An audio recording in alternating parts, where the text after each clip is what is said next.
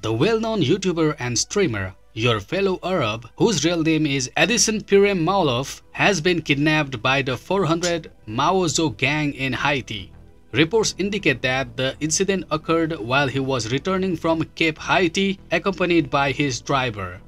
The gang known as Lanmò 100 jou has demanded a ransom of 600,000 American dollar for the safe release of YourFellowArab and his driver. It's been reported that $40,000 has already been paid towards this ransom. Fellow Twitch streamer Lalem confirmed the kidnapping on social media, stating that efforts are being made to secure Addison's release.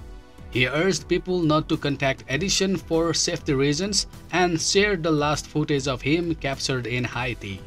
In the video, Addison discussed the dangers posed by gangs in the area and expressed his reluctance to take any risks.